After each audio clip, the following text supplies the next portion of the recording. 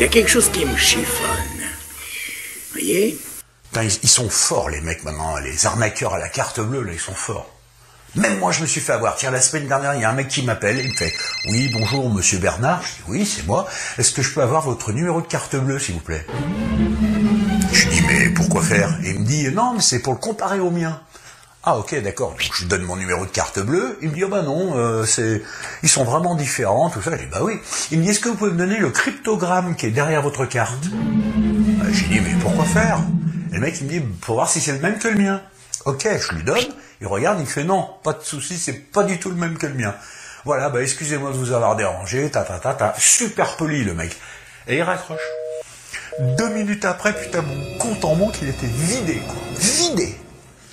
Pas venir, quoi. Le mec, putain, ils sont, sont inventifs, quoi, imaginatifs. Tu, tu le sens pas, quoi. Tu vois. Waouh, bluffant.